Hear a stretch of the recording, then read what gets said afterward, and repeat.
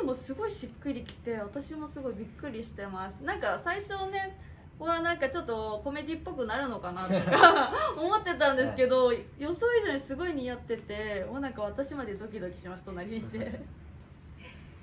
福君は変身してみてどうですか？そうですね。なんか女装メイクとかはしたことあったんですけど、なんかこんな風になんて言うんだろう。リアルにというか、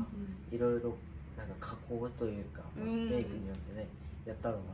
なんかすごいやるとこうなるんだなってすごいなって思いました、いやーすごいいいと思いますよね。だってね、一生懸命頑張ってるわけですし、うん。なんか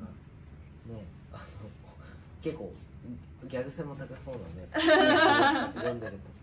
と面白いなと思いなはい、読んでました、はいえー僕がザーチンちゃんにメイクしていただいた動画ぜひご覧ください。